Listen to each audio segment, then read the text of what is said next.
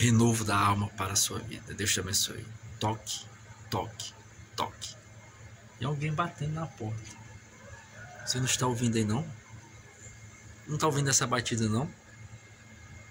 É, tem alguém batendo aí na porta aí. Não, não é só a expressão da, daqui desse áudio que eu estou fazendo com a minha boca, não. Tem alguém batendo na porta.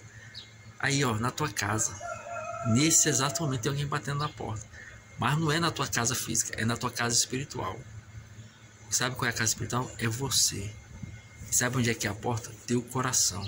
E sabe quem é que está batendo? Jesus. E sabe qual é o toque? Esta palavra aqui. Cada vez que você ouve a palavra de Deus, é Jesus batendo na porta do teu coração te chamando. Para que você venha despertar e venha correr para Ele, ainda quanto você tem tempo. Olha o que, que diz o Senhor lá em Apocalipse 3, versículo 20. Eis, Apocalipse 3, verso 20.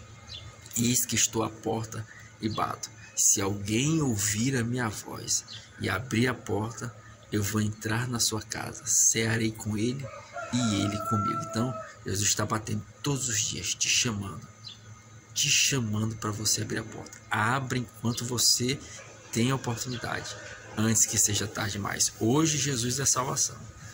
Hoje, Ele está para te defender. Mas vai chegar um momento em que Ele vai te julgar.